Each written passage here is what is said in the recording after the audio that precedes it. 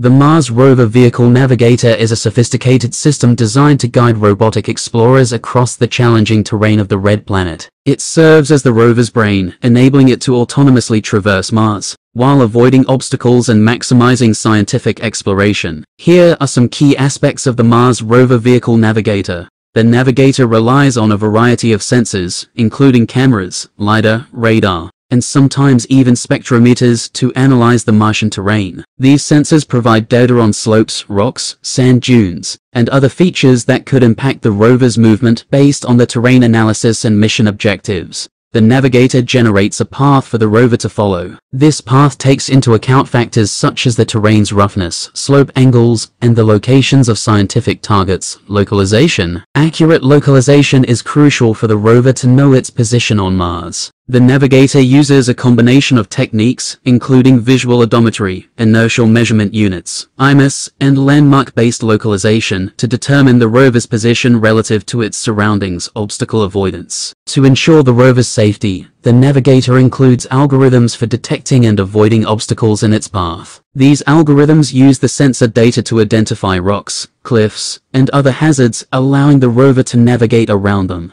While humans on Earth can send high-level commands to the rover, the navigator allows the rover to make its own decisions based on the information it gathers. This autonomy is essential for the rover to adapt to unexpected obstacles or changes in the terrain without waiting for commands from Earth.